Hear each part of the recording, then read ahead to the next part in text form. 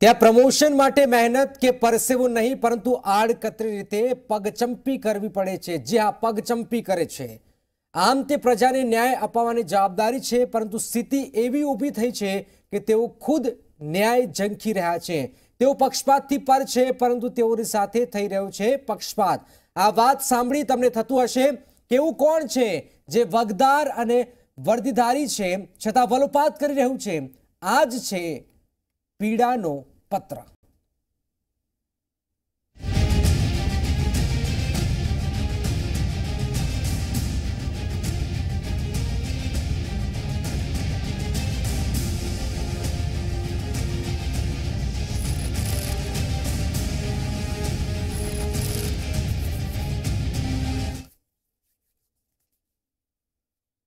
પીડાનો પત્ર આઈપીએસ પીડા નમસ્કાર આપ જોઈ રહ્યા છો આઈપીએસ પીડા હું જનક ગુજરાત કેડરના એક પ્રોબેશનરી આઈપીએસ અધિકારી દુખી છે.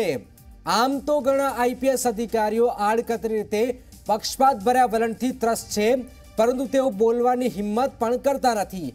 કદાચ તેઓને ડર છે કે જો બોલ્યા તો પ્રમોશન અટકી જશે. પ્રમોશન અટકશે અને નહીં થવાનું થઈ જશે.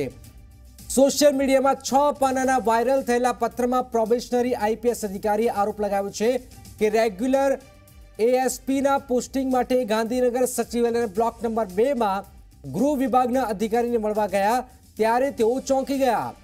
નોન આઈપીએસ અધિકારીનો દબદબો અને વગ વિશે પત્રમાં લખતા અધિકારીએ આરોપ મૂક્યો છે કે સર્વિસ પેટર્ન કે પ્રમોશન માટે આ કેબિનમાં નોન આઈપીએસ અધિકારીને સેલ્યુટ પણ મારવી પડે છે. હવે આ કોણ છે નોન આઈપીએસ અધિકારી? જેને સેલ્યુટ પણ મારવી પડતી હોય છે. આપ જો કે ગાંધીનગર સચિવાલયમાં બેસતા નોન આઈપીએસ અધિકારીનો કેવો દબદબો અને બિન અધિકૃત વર્ગ અને સત્તા ધરાવે છે તે વિશે આ પત્રમાં અત્યંત ચોંકાવનાર આક્ષેપ પણ થયેલા છે. એક પ્રમોટી સાહેબ જ આખા ગૃહ વિભાગ અને પોલીસ તંત્રને ચલાવતા હોવાના આક્ષેપના સમર્થનમાં આ અધિકારી રેગ્યુલર એએસપીના પોસ્ટિંગ માટે ગાંધીનગર સચિવાલય બ્લોક નંબર બેમાં ગૃહ વિભાગના અધિકારીને મળવા ગયા. ત્યારે અનુભવ ટાંક્યો હતો. તેમના આક્ષેપ મુજબ, એ સમયે સાહેબની ચેમ્બર બહાર ગયા તો બે આઈજી કક્ષાના અધિકારી તેમને બોલાવી તેની રાહ જોઈને બેઠા. હવે આપ જો કે પ્રમોટી અધિકારી ગૃહ વિભાગ અને પોલીસ તંત્ર ચલાવે છે. સીધો આક્ષેપ કરી દેવામાં આવ્યું છે કે નોન આઈપીએસ અધિકારીને સેલ્યુટ મારવી પડે છે. આ ખૂબ જ ગંભીર બાબત છે. ગુજરાત કેડરમાં અન્યાય થતો હોવાનો આરોપ લગાવવામાં આવ્યો છે. છ પાનાનું આ પત્ર હાલમાં સોશિયલ મીડિયામાં પણ વાયરલ થયું છે. સમગ્ર તંત્ર નોન આઈપીએસ અધિકારી ચલાવતો હોવાનો આરોપ પણ લાગ્યો છે. પ્રમોટી અધિકારી, ગૃહ વિભાગ અને પોલીસ તંત્ર ચલાવે છે. આ સવાલ પોલીસ અધિકારીઓના પ્રમોશન, ફરજ નીતિની પણ આખરે સમગ્ર બાબત ખોલી છે. ગુજરાત કેડરમાં અન્યાય થતો હોવાનો આરોપ પણ લગાવવામાં આવ્યો છે. પોતાની ગુજરાત કેડરની પસંદગીને મોટી ભૂલ ગણાવી છે. આ એક મહત્વપૂર્ણ છે સમગ્ર તંત્ર નોન આઈપીએસ અધિકારી ચલાવતો હોવાનો આરોપ પણ લગાવી દેવાયો છે આપણે ફરીથી કહું. ગુજરાત કેડરના એક પ્રોબેશનરી આઈપીએસ અધિકારી દુઃખી છે. આમ તો ઘણા આઈપીએસ અધિકારીઓ આડકતરી રીતે પક્ષપાત ભર્યા. વલણથી તસ છે. ઉદય રંજન અમારી જોડ્યા છે. ઉદય જે આપણે શરૂઆતમાં વાત કરી કે એક પ્રોબેશનરી આઈપીએસ અધિકારી દુઃખી છે, આમ તો આઈપીએસ અધિકારીઓ ઘણા બધા છે કે જે આડકતરી રીતે પક્ષપાત ભર્યા વલણથી ત્રસ્ત છે. હવે આ સમગ્ર મામલો છે શું? મામલો છે શું? કોણ દુઃખી છે? અને આખરે કોણ આ સમગ્ર બાબત ચલાવી રહ્યું છે? બે આઈપીએસો વચ્ચેની ઝઘડો અને જે શ્વેત યુદ્ધ છે એ છેલ્લા ઘણા સમયથી ચાલી રહ્યું છે. આઈપીએસ અધિકારીઓમાં બે વિભાગ અત્યારે સામે સામે આવી ગયા છે. બે જૂથ વચ્ચે અત્યારે ક્યાંક ને ક્યાંક આંતરિક વિરોધ અને આંતરિક લડાઈ પણ ચાલતી હોય છે. જો એક જૂથની વાત કરવામાં આવે તો ગુજરાતી આઈપીએસો છે અને બીજા જૂથની જો વાત કરવામાં આવે તો નોન ગુજરાતી આઈપીએસ અધિકારીઓ છે. આ બંને વચ્ચેનો ઝઘડો જે છે એ ઠંડો ઝઘડો ઘણા સમયથી ચાલી આવ્યો છે અને ચાલતો રહ્યો છે.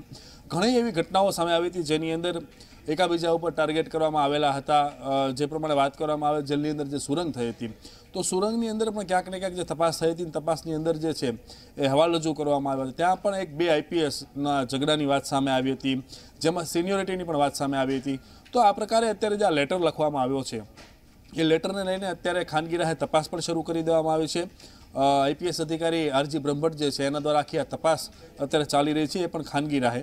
આ પત્ર જે છે એ ત્રણથી ચાર દિવસ પહેલાં લખવામાં આવેલો છે અને પત્ર જે મોકલવામાં આવ્યો છે, કઈ કઈ જગ્યા ઉપર મોકલવામાં આવ્યો છે એની વાત કરીએ આપણે. તો અમુક એસપી કક્ષાના અધિકારીઓને મોકલવામાં આવ્યો છે, અમુક આઈજી કક્ષાના અધિકારીઓને મોકલવામાં આવ્યો છે, અમુક એડિશનલ ડીજી કક્ષાના અધિકારીઓને મોકલવામાં આવ્યો છે. આ લેટરની અંદરની જો વાત કરવામાં આવે, તો લેટર જે છે એક પ્રોબેશનર આઈપીએસ ઓફિસર જે છે, એના દ્વારા લખવામાં આવેલો એવા પ્રકારનું જણાય આવે છે. પરંતુ શું સાચે જ એના દ્વારા લખવામાં આવ્યો છે કે અન્ય કોઈ વ્યક્તિ દ્વારા કે અન્ય કોઈ આઈપીએસ તરીકે દ્વારા લખવામાં આવ્યો છે. કારણ કે જે પ્રમાણે ભાષાનો ઉપયોગ કરવામાં આવ્યો છે, જે મુદ્દા ટાંકવામાં આવ્યા છે, એ મુદ્દાઓ ક્યાંક ને ક્યાંક ઘણા અનુભવ બાદ જાણવા મળતા હોય છે. આ પ્રોબેશનર જે આઈપીએસ અધિકારી જે છે, જેણે આ પત્ર લખેલો છે, તેની અંદર એને ઘણા એવા મુદ્દાઓ ટાંકેલા છે. જે કોઈ પણ એક મુદ્દાની જો વાત કરીએ આપણે, તો એક મુદ્દો એવો પણ છે કે અમુક જે અધિકારીઓ જે છે, જેને તાજેતરમાં તે ડીવાયસપીથી આઈપીએસ બનાવવામાં આવ્યા છે તે અમુક અને ચોક્કસ જ્ઞાતિમાંથી આવે છે એટલા માટે બનાવવામાં આવ્યા છે. તેને અલગ પ્રકારનો લાભ અને ફાયદો પણ આપવામાં આવ્યો છે. તેને નજીક પણ રાખવામાં આવેલા છે. આ સિવાયની જો વાત કરવામાં આવે એક નોન આઈપીએસ અધિકારી જે છે તેને લોકો સલ્યુટ કરી રહ્યા છે. એ પણ સિનિયર અધિકારીઓને સલ્યુટ કરી રહ્યા છે. તો ક્યાંક ને ક્યાંક જે છે એ આ- એક આક્ષેપ કરતો પત્ર લખવામાં આવ્યો છે. આઈપીએસના હિતની વાત તો ઠીક છે. પરંતુ બે જૂથ જે પ્રમાણે ચાલી રહ્યા છે અત્યારે એ જૂથને ક્યાંક ને ક્યાંક ફરી વખત વધારવા માટેનો પ્રયત્ન ક્યાંક ને ક્યાંક લેટરમાં દેખાઈ રહ્યો છે. બીજી મહત્વની વસ્તુ એ છે એક આઈપીએસ એસોસિએશન જે છે એનો પણ ઉલ્લેખ કરવામાં આવ્યો છે. જેની અંદર જે એક અધિકારી જે છે અત્યારે સેક્રેટરી છે તો એ પણ ના રહેવા ઉદય આપની પાસે આવું છું પરંતુ એક જો કે આરોપ કેટલા કરવામાં આવ્યો છે એના પર નજર કરીએ કે સોશિયલ મીડિયામાં વાયરલ થયેલા લેટરમાં કહેવામાં આવ્યું છે કે સચિવાલયના બ્લોક નંબર બે માં ગૃહ વિભાગના એક અધિકારી છે, તે ભારે વગદાર છે. તે જ ગૃહ વિભાગ અને પોલીસ વિભાગને ચલાવે છે. આ ખૂબ જ ગંભીર આરોપ લગાવવામાં આવ્યો છે. લેટર લખનાર આઈપીએસ અધિકારીએ આરોપ લગાવ્યો છે કે તે જ્યારે પોતાની રેગ્યુલર એએસપીની પોસ્ટિંગ માટે જ્યારે ગાંધીનગર આ અધિકારીને મળવા ગયા, ત્યારે ત્યાં ચેમ્બરની બહાર બે આઈજી કક્ષાના અધિકારીઓ રાહ જોઈ રહ્યા હતા. ત્યારે તેઓ તેમની સાથે ચેમ્બરમાં ગયા, તો એક આઈજીએ સેલ્યુટ મારી, જે આંચકાજનક હતું. આ ખૂબ જ ગંભીર આરોપ લગાવવામાં આવ્યો છે. ગાંધીનગર સચિવાલય બેસતા નોન આઈપીએસ અધિકારી મનસ્વી વલણ પણ સામે આવ્યું છે. તો આખરે આરોપો જે લાગ્યા છે, ઉદય, હવે મૂળ મુદ્દો એ છે, એક આઈજીએ સેલ્યુટ મારી જે આંચકાજનક છે, હવે આ ચેમ્બરમાં કોણ બેસે છે, એ કોઈ માહિતી મળી રહી છે કે આખરે આવા લોકોને સેલ્યુટ પણ મારી પડે છે ને આટલી બધી વગદાર આ લોકોને? જી, જે પ્રમાણે લેટરની અંદર ઉલ્લેખ કરવામાં આવ્યો છે, જનક, એ પ્રમાણે કહી શકાય કે કોઈ, કોઈને કોઈને કોઈ વ્યક્તિ જે બેઠેલા છે, જે બ્લોક સાથે આપેલું છે, તમામ વ્યક્તિઓને ખ્યાલ છે કે કોણ ત્યાં બેઠેલું હોઈ શકે છે અથવા તો કોનો હોદ્દો છે અને કોણ વ્યક્તિ તેને ત્યાં સોલ્યુ સેલ્યુટ કરી શકે છે. તો મુદ્દો જે છે, અત્યારે હવે ચર્ચા રહ્યો છે કે આખરે શા માટે એટલું મોટી વગ અને એટલું બધું ભાર એ અધિકારી ઉપર મૂકવામાં આવે છે? સાથે સાથે એ પણ નોંધવામાં આવ્યું છે કે ગૃહ વિભાગ કે પછી ડીજીપીનું જેટલું નથી ચાલતું એટલું આ વ્યક્તિનું ચાલવામાં આવે છે. તો આ ટાર્ગેટ સાથે અથવા તો.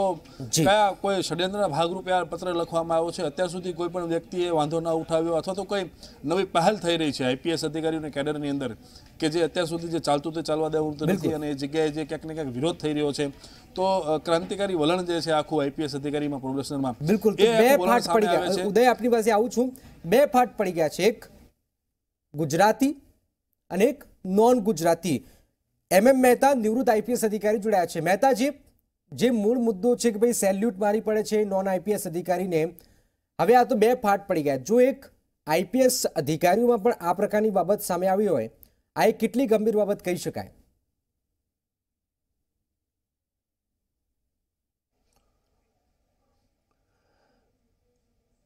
સિનિયર પોલીસ અધિકારીઓ નોન સિવિલ સિવિલિયન્સને કોઈ પણ ડિપાર્ટમેન્ટ હોય કે સચિવાલયના હોમ ડિપાર્ટમેન્ટ હોય તો અમુક અધિકારીઓને એવી ટેવ છે કે કેઝ્યુઅલ સલ્યુટ મારવાની. એટલે કે રેગ્યુલર સલ્યુટ નહીં પણ અંદર જતે કે અંદર આવ્યા છો તેને રિસ્પેક્ટ બતાવવા માટે. ભલે કોઈ પણ કક્ષાના એ અધિકારી હોય નોન આઈપીએસ કે નોન પોલીસનો હોય. તો એ એમાં બહુ કંઈ એ સાચી વાત નથી કે કેઝ્યુઅલ સેલ્યુટ અધિકારીઓ એ એનો ઉપયોગ કરે છે. પણ જો રેગ્યુલર સેલ્યુટ અંદર જઈને ઊભા થઈને પછી સ્ટેન્ડ ટુ અટેન્શન એ થઈને અને સેલ્યુટ હોય તો એના માટે લેવલ છે દરેક અધિકારીનું. કોઈ પણ અધિકારી હોમ સેક્રેટરી પાસે જાય એસીએસ હોમ તો ભલે ડીજી હોય, તો એ સિનિયોરિટી પ્રમાણે એને રિસ્પેક્ટ બતાવવી પડે. અને પોલીસ યુનિફોર્મ સર્વિસ છે, એટલે સલ્યુટ સિવાય બીજો કોઈ ઓલ્ટરનેટિવ નથી કે રિસ્પેક્ટ બતાવવાનો. અને એ જૂની પ્રેક્ટિસ છે અને પોલીસ અધિકારીઓ પોતાના સિનિયરને સેલ્યુટ કરે છે. એને જે બીજા અધિકારી હોય ચીફ સેક્રેટરી હોય કે હોમ સેક્રેટરી હોય કે એનાથી એને ખબર હોય છે કે મારાથી કોણ સિનિયર છે. તો એવી રીતે સેલ્યુટ કેઝ્યુઅલી કરે કે સિસ્ટમેટિકલી કરે એ અધિકારી પોતે સમજી છે બિલકુલ બિલકુલ. તો આરોપ નંબર બે આપ જોઈ લો. સચિવાલયના બ્લોક નંબર બેમાં ગૃહ વિભાગના એક અધિકારીનો દબદબો ભારે છે. એસીએસ હોમ્સ અને ઇન્ચાર્જ ડીજીપીનું અધિકારી પાસે કશું ચાલતું નથી. અને પરિસ્થિતિ આમને આમ રહી તો થોડા સમયમાં ચેમ્બરની બહાર ઉભેલા પટાવાળાને પણ અધિકારીઓએ સેલ્યુટ મારવી પડશે. આપ જુઓ કે આ પ્રકારની હદ, આ પ્રકારની વાતાવરણ અહીંયા સર્જાઈ રહ્યું છે. આરોપ નંબર બે આ પત્રમાં ટાંકવામાં આવેલું છે. આ ગંભીર આરોપો લગાવવામાં આવ્યો છે. આરોપ નંબર ત્રણ આપ જુઓ કે પત્રમાં કહેવામાં આવ્યું છે કે પોલીસ તંત્રમાં પ્રમોશન નામે અન્યાય થાય છે અને સર્વિસ રૂલ્સને પણ ગોળીને પી જાય છે. આ રીતે તંત્ર ચાલતું હોવા છતાં સિનિયર અધિકારીઓની હિંમત ચાલતી નથી કે ન્યાય સામે અવાજ ઉઠી શકે છે. પત્રમાં દાવો કરવામાં આવ્યો છે કે તાજેતરમાં એકવીસ ડીવાયએસપીને એસપી રેન્કના પ્રમોશન આપવામાં આવ્યા, જેમાં ઓછામાં ઓછી આઠ વર્ષની સર્વિસનો નિયમ નેવે મૂકવામાં આવ્યો અને એક જ જૂથના કર્મચારીઓને દેખીતો લાભ આપવામાં આવ્યો છે. આ ખૂબ જ ગંભીર બાબત છે. આપ જો ફરીથી આપને કહું કે જે પ્રમોશન થયા એકવીસ ડીવાયએસપીઓના એસપી રેન્કના પ્રમોશન આપવામાં આવ્યા છે. તેમાં ઓછામાં ઓછી આઠ વર્ષની સર્વિસનો નિયમ મૂકવામાં આવ્યો છે અને એક જ જૂથના કર્મચારીઓને દેખીતો લાભ આપવામાં આવ્યો છે. ઉદય રંજન છે. ઉદય, મૂળ મુદ્દો એ છે કે જે ડીવાયએસપી અને એસપી રેન્કના પ્રમોશન અપાયા જેમાં આઠ વર્ષની સર્વિસનો નિયમ નેમ મૂકવામાં આવ્યો. એક જ જૂથને લાભ મળી રહ્યો છે આમાં. તો બીજું જૂથ તો નારાજ થવાનું છે. કે શા માટે ભાઈ હમણાં અમારા લોકોને પણ પ્રમોશન નથી મળતું? જનક આમાં કોઈ જૂથવાદ હોવો જ ના જોઈએ. કોઈ એક જૂથ કે બીજું જૂથ કોઈ પણ પ્રકારનો જૂથવાદ હોવો જ ન જોઈએ. જ્યારે આઈપીએસ અધિકારીઓ અથવા તો પોલીસ અધિકારીઓને જ્યારે વ્યક્તિગત આપણે મળતા હોઈએ છીએ તો એમનો પણ ક્યાંક ને ક્યાંક જે સ્વભાવ છે એ ખાખી પહેર્યા બાદનો જે છે એમના માટે ના કોઈ કોમ હોય છે ના કોઈ કોમવાદ હોય છે કે ના કોઈ જ્ઞાતિ હોય છે એ માત્ર ને માત્ર પોતાની ફરજ સાથે વળગેલા હોય છે અને ફરજ પ્રત્યે તે એની લાગણી દેખાતી હોય છે. જે પ્રમાણે આક્ષેપો કરવામાં આવ્યા છે તાજેતરની જો હું વાત કરું આપને તો એકવીસ જણાને જે પ્રમોશન આપવામાં આવ્યા છે એસપી તરીકેના ડીવાયએસપીમાંથી તો એમાં બની શકે છે કે વધારે માત્રા જે છે કોઈ એક ચોક્કસ જ્ઞાતિની હોઈ શકે છે પણ સાથે સાથે અન્ય જ્ઞાતિના પણ લોકો એમાં ડીવાયસપીથી એસપી કક્ષામાં પહોંચ્યા છે. અને એ લિસ્ટ જે છે આખું જાહેર પણ કરવામાં આવ્યું હતું અને એ લોકોની હજી જો વાત કરવામાં આવે તો એસપી તરીકેના પ્રમોશન ચોક્કસથી આપી દેવામાં આવ્યા છે. તો એ પૈકીના તમામ લોકો જે છે જે સ્થળ ઉપર હતા એ સ્થળ ઉપર એમને પ્રમોશન આપ્યા બાદ હજી પણ એની જગ્યા ઉપર કામ કરી રહ્યા છે. થોડા દિવસો પહેલા તે જી ચોવીસ કલાકે આખો એક અહેવાલ પ્રસ્તુત કર્યો હતો કે એકવીસ જણાને આખરે પ્રમોશન કે પોસ્ટિંગ જે છે ક્યારે આપવામાં આવશે? તો જે આખી ઘટના સામે આવી છે. તેની અંદર જોવામાં આવે તો ચોક્કસ જ્ઞાતિના વ્યક્તિઓ હોઈ શકે છે. તો બીજી તરફ જો જોવામાં આવે તો અન્ય જ્ઞાતિના વ્યક્તિઓને પણ પ્રમોશન અને એ લોકોને જે છે બઢતી આપવામાં જ આવેલી છે. પરંતુ આખરે કઈ રીતે આ મુદ્દાને તાકવામાં આવેલો છે? શું જે આઠ વર્ષની વાત કરવામાં આવે છે બની શકે છે? એમાં કોઈ વ્યક્તિઓ જે છે એને આઠ વર્ષની નોકરી ન થઈ હોય. તો સવાલ બીજો એ ઊભો થઈ રહ્યો છે કે તમામે તમામ વ્યક્તિ જે છે એક જ બેચના છે. તો આઠ વર્ષ પૂરસ થવાના જો એક વ્યક્તિના થાય તો બીજાને પણ થવાના જ છે. તો આ મુદ્દો શા માટે ટાંકવામાં આવ્યો છે? શું ખરેખર કોઈ હકીકતમાં કોમવાદ ઊભો કરવા માંગે છે? એ પણ એક સવાલ થઈ રહ્યો બિલકુલ આ ખૂબ જ ગંભીર બાબત છે. મહેતાજી છે. મહેતાજી એકવીસ ડીવાયએસપીને એ જ સવાલ છે કે એસપી રેન્કના પ્રમોશન આપી દેવામાં આવે છે ઓછામાં ઓછી આઠ વર્ષની સર્વિસનો નિયમ નેવી મુકાયો છે. એક જ જૂથના કર્મચારીઓને દેખીતો લાભ આપવામાં આવ્યો છે. હવે આ જૂથ છે એક જ જૂથને લાભ મળી રહ્યો છે અને એટલે જ બીજા જૂથનો આ પત્ર સામે આવ્યો છે.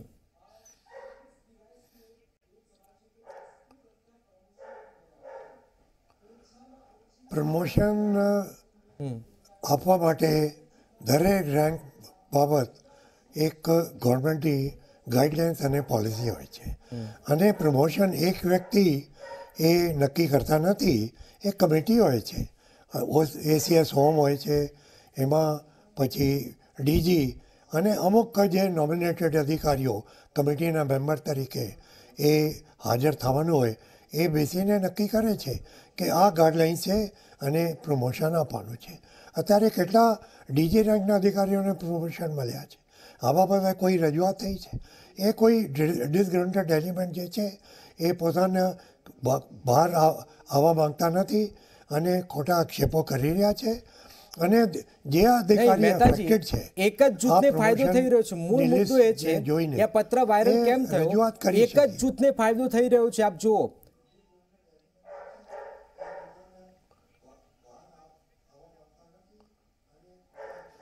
છતાં પણ હું કહેવા માંગુ છું કે કમિટી જે કર્યો છે એ કમિટી કર્યો છે. પછી અધિકારીઓ જે અફેક્ટેડ છે એ રિપ્રેઝન્ટેશન કરી શકે જેને જરૂરત હોય. રિપ્રેઝન્ટેશનમાં ફાયદો નહીં થાય તો પછી ટ્રાઇબ્યુનલમાં જઈ શકે કોર્ટમાં જઈ શકે. અત્યારે ગવર્મેન્ટ કોઈ એવા કામ કરતા નથી કે એને ખબર હોય છે કે વ્યક્તિ હોય કે અમુક લોકો હોય કે એ કોર્ટમાં પણ જઈ શકે. તો એટલે હું માનતો નથી કે એમાં કંઈ બહુ સાચી વાત છે. અને આઈપીએસ એસોસિએશન છે. એ એ એ પણ એ ભલે આઈપીએસ એસોસિએશન કે આઈએસ એસોસિએશન એટલી ઇફેક્ટિવ નથી કે જેટલી હોવું જોઈએ.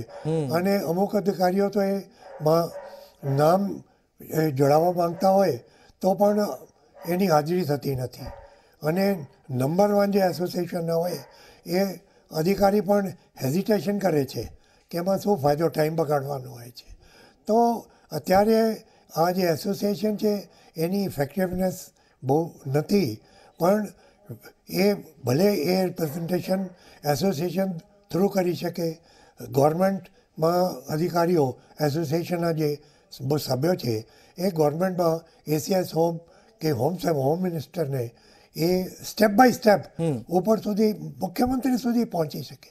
અને જો ત્યાં ક્યાં ફાયદો નહીં થાય તો પછી એ ટ્રાઇબ્યુનલ કે કોર્ટમાં જ પણ જઈ શકે. બિલકુલ તો આ આજકાલના જમાનામાં કોઈ ખોટા કામ કરીને એ બાર બાર એ આરામથી બેસી શકે નહીં.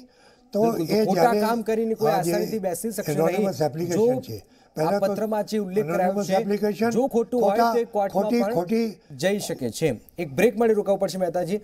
એક બ્રેક બાદ આખરે આ મુદ્દો કેટલો મહત્વપૂર્ણ છે? મહેતાજી કહ્યું છે કે આઈએસ અને આઈપીએસ જે જૂથ છે જે અધિકારીઓ છે ઘણા બધા સારા અધિકારીઓ છે પરંતુ જૂથબંધી પણ ચાલે છે અને હજુ પણ પારદર્શકતા હોવી જરૂરી છે. આ એક મહત્વપૂર્ણ બાબત છે. એક બ્રેક માટે રોકાઈશું. આપ જોતા રહો આઈપીએસની પીડા.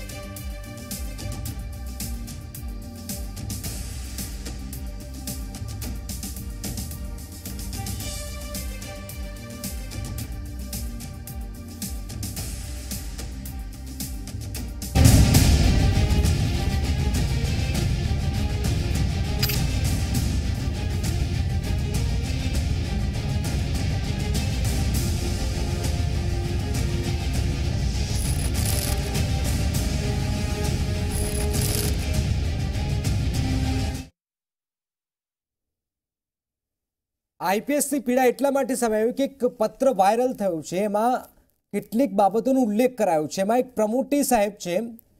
એ સમગ્ર ગૃહ વિભાગ ચલાવે છે. આ એક આક્ષેપ કરવામાં આવ્યો છે. પોલીસ તંત્ર ચલાવે છે. આરોપ નંબર ચાર, માત્ર દારૂબંધીના કેસોની કેડર બની ગઈ છે.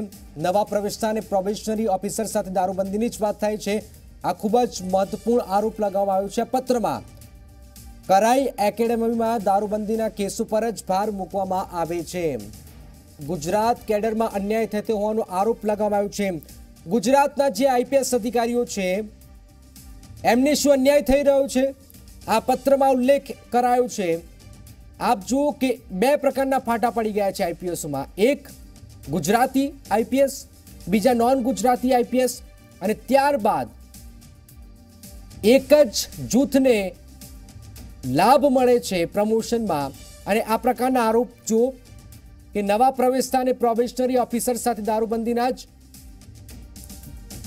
કેસોની વાત થાય છે. પોલીસ અધિકારીને ગંભીર ગુના ઘટાડામાં નહીં, પરંતુ પૈસા કમાવામાં રસ છે. આરોપ નંબર આ પાંચમો પણ લગાવવામાં આવી રહ્યો છે. આ પત્રમાં ઉલ્લેખ કરવામાં આવ્યો છે. આપ જુઓ કે પોલીસ અધિકારીઓને ગંભીર ગુના ઘટાડામાં નહીં, પરંતુ પૈસા કમાવામાં રસ છે આ પીડા અને આરોપ. આરોપ નંબર છ જુઓ. આ પત્રમાં શું આરોપ લગાવવામાં આવ્યો છે? વિજિલન્સ વિભાગ ભ્રષ્ટાચારનું મૂળ છે જો એક આ પ્રકારની બાબત સામે આવે, જે અધિકારી કેસમાં ગંભીર તપાસ કરે છે, આખરે તેની બદલી થઈ જાય છે. સત્ય બહાર આવતું નથી એવો આરોપ લગાવવામાં આવ્યો છે, જેના કનેક્શન મજબૂત તેને સારા જિલ્લામાં પોસ્ટિંગ મળે છે સારો જિલ્લો મતલબ કે જ્યાં પૈસા વધારે મળે છે, એવો આક્ષેપ આ પત્રમાં કરવામાં આવ્યો છે. વિજિલન્સ વિભાગ ભ્રષ્ટાચારનું મૂળ છે.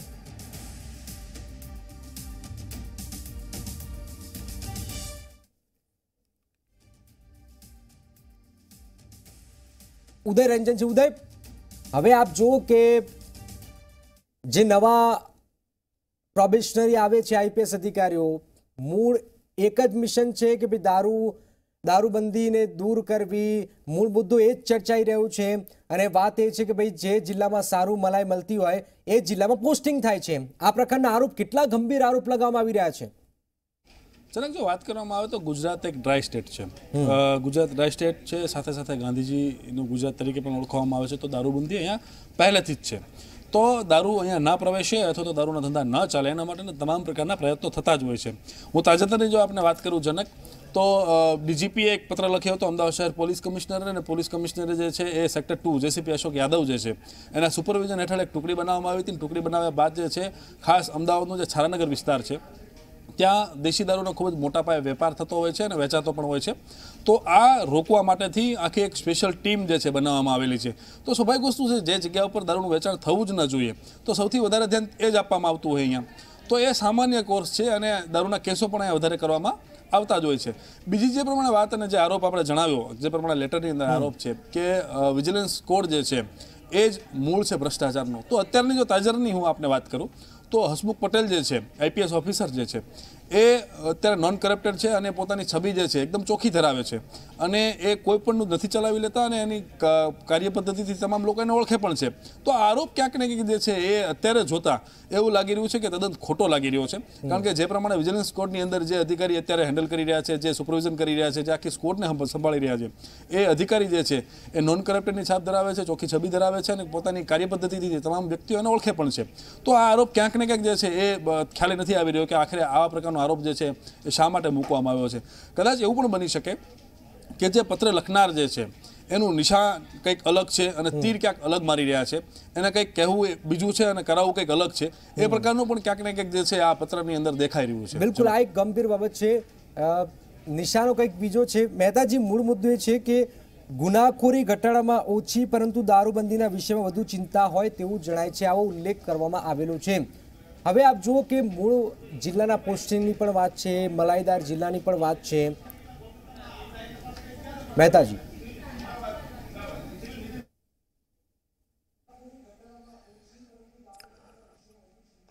પોલીસ ડિપાર્ટમેન્ટની મુખ્ય કામગીરી છે અને એ ગુજરાત નહીં, પણ બીજા રાજ્યોમાં પણ કે crime law and order maintain કરવા માટે.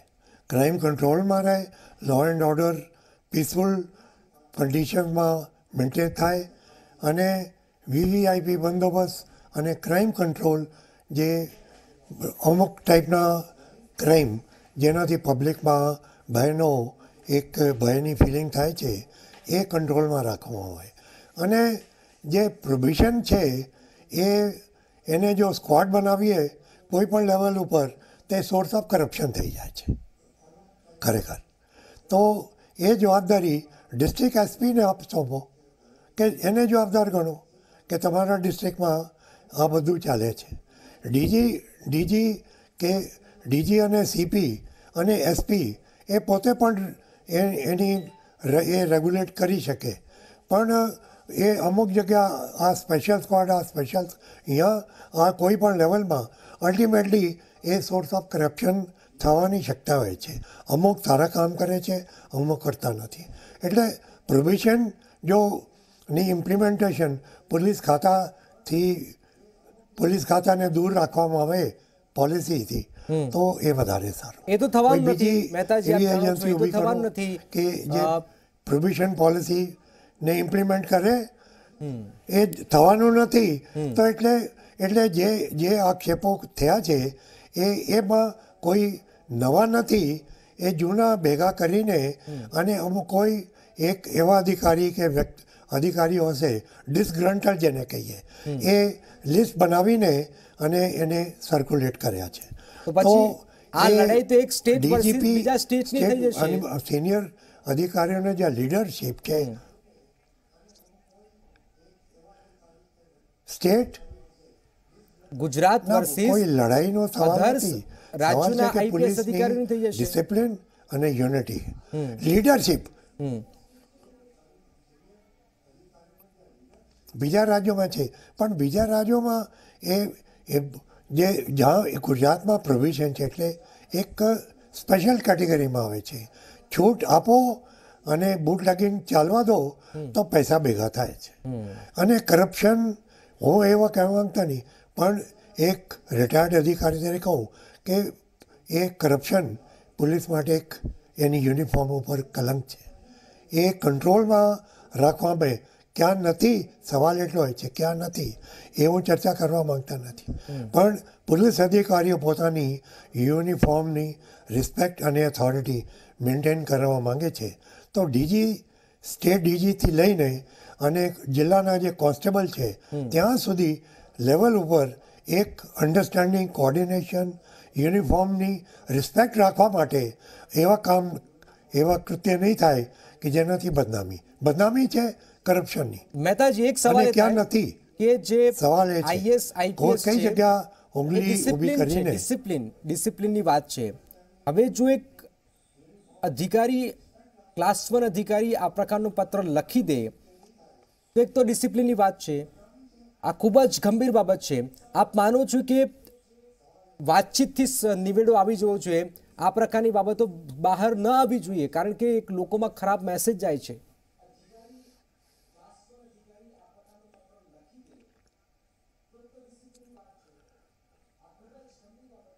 ખરેખર તો એ અંદરનો ડિસગ્રન્ટલમેન્ટ અને મિસ્ચીફનો સવાલ છે.